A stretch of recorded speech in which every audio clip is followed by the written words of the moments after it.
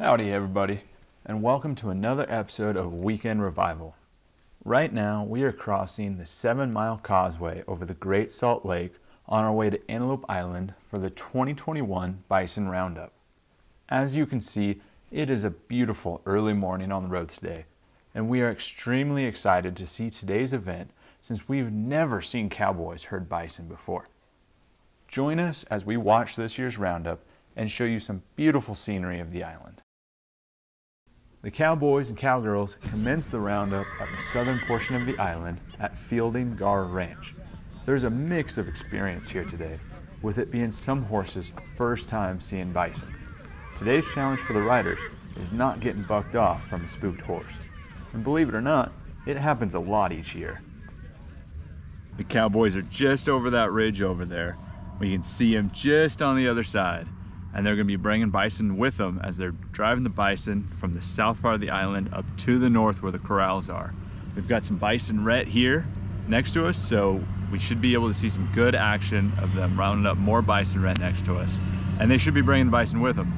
So stay tuned and hopefully you can see some great footage of the bison ahead. The bison are not as close as we had hoped, but you can see the cowboys have already gathered a few off in the distance and I've put a red circle on the video so you can see where they're at.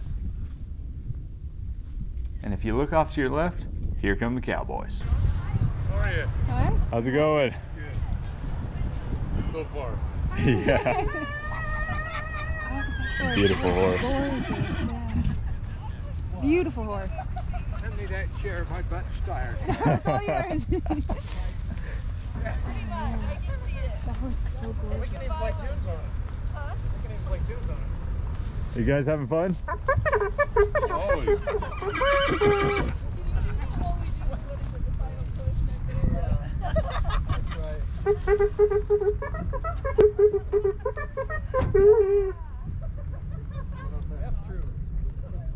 Can you play? Not happy.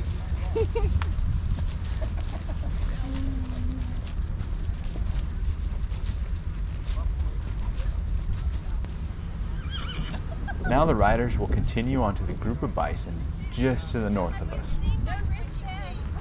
Fun fact time. Did you know that a mature bison can eat between 40 and 50 pounds of grass per day? Now, if we assume there's 700 bison on the island right now, that's 35,000 pounds of grass consumed per day. Now you gotta remember, the bison are not the only animals here on the island.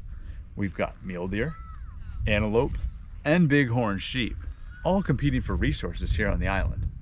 So with no natural occurring predators, we have to artificially reduce the herd. And that's why we're here today at the Bison Roundup. We are artificially reducing the herd.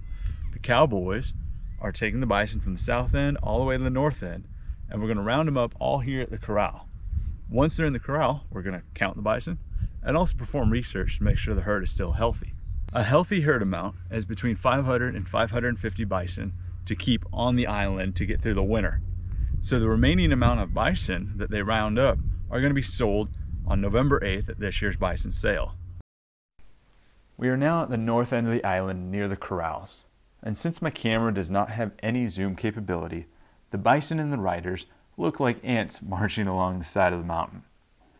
But again, I've put the red circle to help you identify them. The cowboys and the cowgirls are now leading the bison towards the fence line, where they will use the fence to help guide the bison through the gate. And though it is hard to see, using the fence proved to be quite the effective method today. Now that all the bison are rounded up, go ahead and congratulate those cowboys and cowgirls as they ride by. Thank you. Thanks for coming out. behind us. We left them home. If you're an interested cowboy or cowgirl, for a small fee, you can actually participate in the bison roundup. You get to ride right next to the bison for an all day event to be out here on the island. So come out here, load up your horse, and check it out.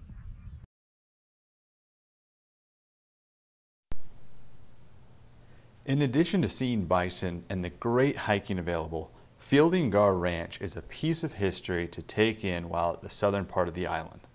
According to the state park's website, Mr. Fielding Garr built the first log cabin in 1848. Here, you can witness my poor performance at roping.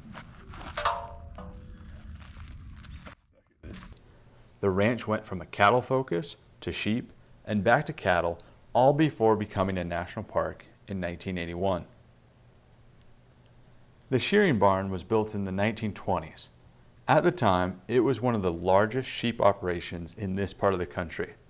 They say that more than 10,000 sheep grazed on the island during the spring. This particular barn was built with the purpose of mechanical shearing. This process took only a matter of minutes in comparison to the traditional shearing, which took approximately half an hour. And as you can imagine, this was a huge technology leap for the ranch. Now, if you like this video, please press like below. You can also follow our blog and our channel here for more fun ideas of things to do on the weekend. So our blog is up above, also our social media links. Check us out. Can't wait to see you next time.